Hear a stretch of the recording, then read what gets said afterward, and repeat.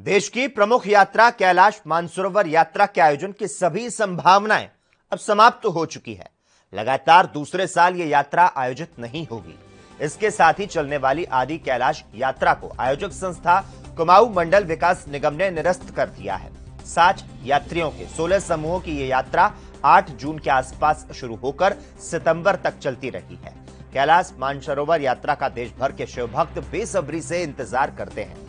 यात्रा का आयोजन विदेश मंत्रालय की ओर से किया जाता है, जबकि यात्रा की तमाम व्यवस्थाएँ कुमाऊ मंडल विकास निगम करता है। देश दुनिया की खबरों के लिए एएनबी न्यूज़ को सब्सक्राइब करें और बेल आइकन दबाएँ।